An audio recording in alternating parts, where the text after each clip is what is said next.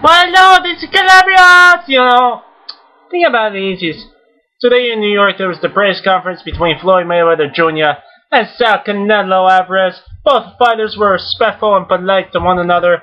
Uh, you know, one got the sense that they were both playing the nice guy role and trying to promote their September 14th pay-per-view bouts on Showtime. Um, Golden Boy Promotion CEO Rich Schaefer kind of went overboard in uh, refereeing to Canelo as the, uh, you know, he's, uh, you know, the uh, Mexican James Dean, gushing over his looks when announcing him to the audience.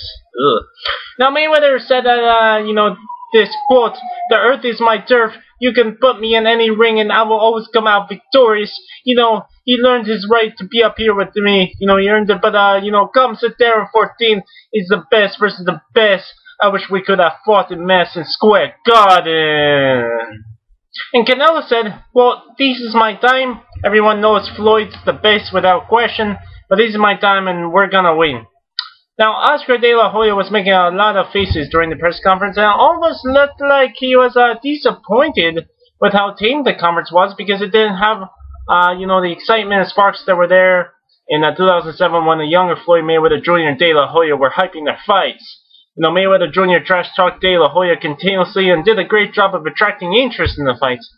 And that was not seen today, and uh, Calabrios has a feeling that it's going to stay this way for the remaining 10 press conferences to go.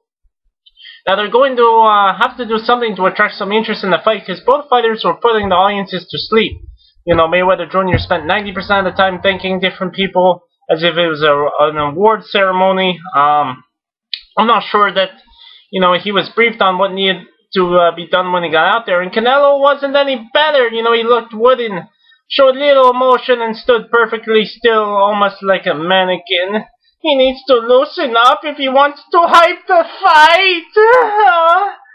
you know, hopefully in the next tour stop they could do a better job of getting people interested in a fight because today was very boring.